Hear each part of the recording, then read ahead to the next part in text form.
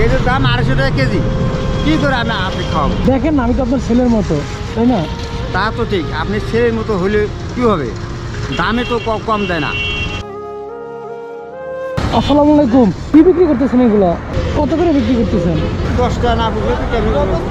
বিক্রি করছেন মোটেও হ্যাঁ? একটা জায়গায় টাকা বেঁচে এলাম একটা কথা বলতাম যদি কিছু মনে না করেন। কোনো সমস্যা নেই। না আপনি তো বিক্রি করেন না এখন কীভাবে বলি? ওই তো বললাম না একটা দশশো টাকা বিক্রি করছি এক জায়গায়। মানে আমার কাছে টাকা নাই বুঝছেন? হ্যাঁ। সারাদিনে কিছু খাই না যদি খাওয়াতেন দশ টাকার হ্যাঁ আপনি যদি এই কথা বলেন হ্যাঁ, আমি অবশ্যই খাওয়াবো তাই? আপনি যদি সারাদিনে কোথাও না খায় থাকে তাহলে অবশ্যই একটা মানুষের উপকার করতেই মানুষ হয়ে মানুষের উপকার করে নাকি? এখন নাই দেখে আপনারা বলছি মানে সারাদিনে কিছু খাই নাই তো এর জন্য আপনাকে বললাম। হ্যাঁ খাব। যদি দাবি টেপে রাখতে পারবেন না যদি দাবি রাখেন তাহলে খাব না। দিবেন কন আমার অনেক দূরে যাইতে হইবে ঢাকা যাব। হ্যাঁ। দিবেন? হ্যাঁ আচ্ছা, দেন তাহলে। দিলেন তো খাইলাম ভালোই লাগল। যাই হোক এখন কি দাবি রাখবেন নাকি? না না না আপনি হ্যাঁ? যেতে বলছেন আপনি যেতে বলছেন আচ্ছা আপনার সারাদিনে কয় টাকা বিক্রি করতে পারেন? আল্লাহ পাক জানি জানি না।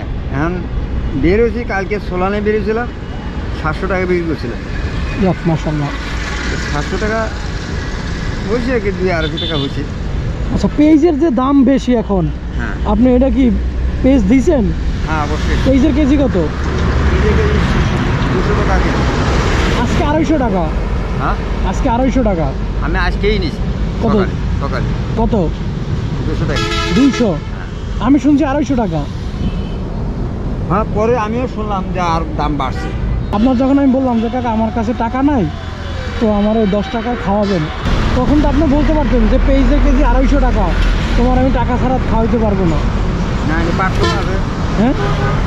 যেহেতু আপনি প্রথম বলছেন যে বাবা আমার খুব ক্ষুধা লাগছে আমার টাকাও নাই। আমার লাখ টাকার দামের জিনিস হয় না কেন? না আপনি বলতে পারতেন না আপনি কি বলতে পারতেন? বলতেন। না আপনি কি বলতে পারতেন? আমি যে বলছি। বলতেন। বাবা কম দিলেন কে? তখন আমি বললাম কি জানেন? হ্যাঁ। আমার এই জিনিসের দাম বেশি এই জিনিস দাম বেশি এই জিনিসের দাম বেশি আমি কি করে পোষাবো? আমার কমই দিতে হবে আমার। পুষতে হবে। না না আপনি কি বলতে পারতেন? আমি যে বলছি কি বলতে পারতেন? বলেন। পেঁয়াজের দাম আড়াইশো টাকা কেজি। কি করে আমি আপনি খাওয়াবো? এখন বর্তমানে একটা মেয়ে। শুধু বর্তমানে একটা মেয়ে আছে। এছাড়া আর কেউ নাই? না। চাষি কি করে? চাষি তার অবস্থা হাল ভালো না।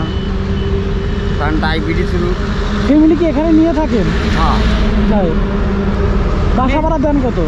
বাসা ভাড়া ছোটো রুম তো? আঠারোশো টাকা দিই আঠারোশো টাকা। এই এইগুলো বেচা আপনার কি সংসার চলে? এইগুলো বেচা এই যেগুলো আছে এইগুলো বেচা সংসার চলে? সংসার চলে না আবার চলাইতে হয়। কি কারণে? টাকা তো নাই। বাধ্যতামূলক এখন যেটুকু যেটুকু সম্ভব হ্যাঁ। এখন আমার দরকার তিন টাকা হ্যাঁ। পাঁচ টাকা।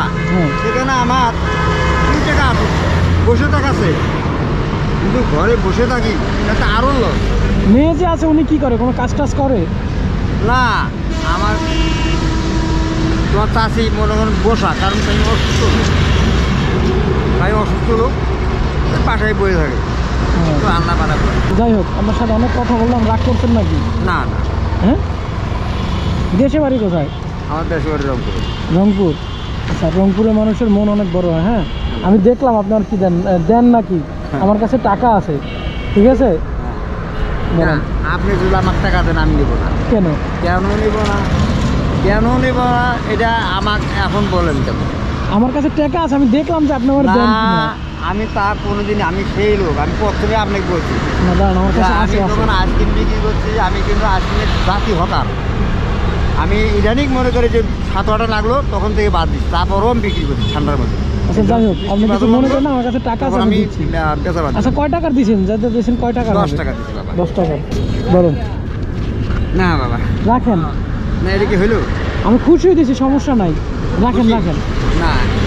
আপনি আমার আমি খুশি দিয়েছেন না। আমি বলি আমি বলি শুনেন। আপনি আমার খুশি হয়ে দিয়েছেন না? দিছেন? হ্যাঁ। আমি আপনার খুশি হয়ে দিতে পারি না? অবশ্যই দাঁড়ান দাঁড়ান। আমি-। মানা করতে পারি না এটা ঠিক আছে আমি মানা করতে পারি না। যেহেতু আমি যখন আমি যখন আপনার বলছি যে আপনি টাকা ছাড়া আমার খাওয়াবেন তখন আপনি কিন্তু আর একটা কথা বলেন নাই যে টাকা। নাই কে বা কিছু বলছেন? না। বলেন নাই। তাই আপনার খুশি হয়ে খাওয়াইছেন না? হ্যাঁ অবশ্যই। আমি আপনার খুশি হয়ে খাওয়াইতে পারি না? অবশ্যই। তাহলে এটা আমি খুশি হয়ে দিচ্ছি সমস্যা নাই। ঠিক আছে?